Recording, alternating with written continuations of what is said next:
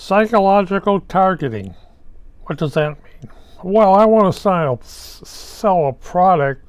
I usually aim it at one group of people, not across board. What does that mean? Well, let's say I have a product selling buggy whips. Well, I would aim this at Amish, except for, of course, they don't really have computers and watch a lot of advertising or TV. But let's say buggy whips. Now, what can buggy whips be used for? Are these the long buggy whips, click, click? Or are these the short buggy whips that go click? Am I running a mule team of 20 mules? I have a long buggy whip. But that thing. It is the same thing of, of, of anything. If I'm selling my car, that new, brand new 19 blah, blah, blah Rolls Royce, I'm going after a specified group of people. Will I find them on the internet? Most likely not.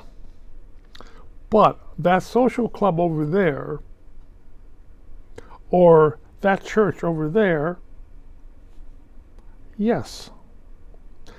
I don't mean that little itty bitty church. I want the mega church where they have 20,000 members that, and many of them have money.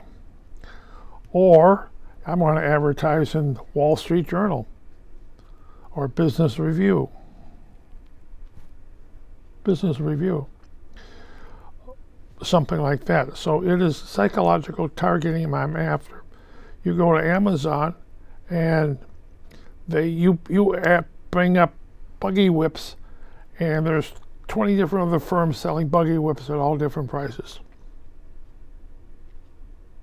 And the next time I go on Amazon, they will say, wow, you were looking at buggy whips or wagon wheels or blue horses with red stripes. Yeah. Rocking horses. yes, yes, yes, yes. so it's you know they target you. You get on there. You get you set up a pattern on Amazon, and they will target you with all this other information, the similar stuff, psychological that thing. Um, I once did a commercial for a well, I once saw a commercial for Allstate Insurance.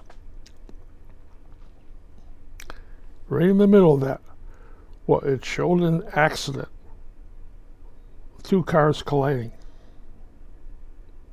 click, click, click, click frame, you know. If you saw it, a 30 second commercial, if you saw those few frames by themselves, not connected to anything else, you would see two, those few frames. But as the commercial went through, psychologically your brain saw it, or your conscience didn't.